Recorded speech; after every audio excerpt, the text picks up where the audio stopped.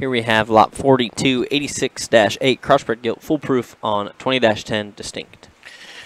Yeah, 20-10, Sal's done a good job for us. Um, and I'd, uh, I'd like to say that I was surprised that this pair of gilts didn't want to just cock off and uh, show themselves off, but that's kind of our distinct sows. They uh, they do a great job of farrowing and breeding and all that, but they're they're not the most personable critters on the planet, uh, especially at a young age, which I, I can respect a little bit. Um, but uh, the mother of this 86 litter gilt would be uh, the mother of the Grand Barrow at the 2018 National Barrow Open Show. She's breaking rules, mom's litter mate, and she makes a fast show pig.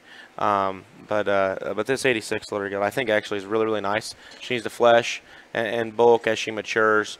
Uh, but I think that's all she needs is some maturity and needs some days on feed. Yeah, right. I mean, she she's young and, and a little skinny today, but I think uh, we haven't talked about just the depth of quality in this 86 litter. I don't. We'd have to count how many you're you're offering, but that's uh, that's hard to do to, to have that many competitive uh, sellable pigs. I mean, that speaks to the, the genetics and the quality of the litter, and I think that makes this this gilt that much more valuable. And all the gilts in this litter, uh, from a, a long term uh, uh, after their show career sow standpoint, these uh, these gilts should have plenty of value because uh, uh, to have this many sellable litter mates in, in, one litter is is something that just doesn't happen every day, and you know that as well as anybody, Kyle.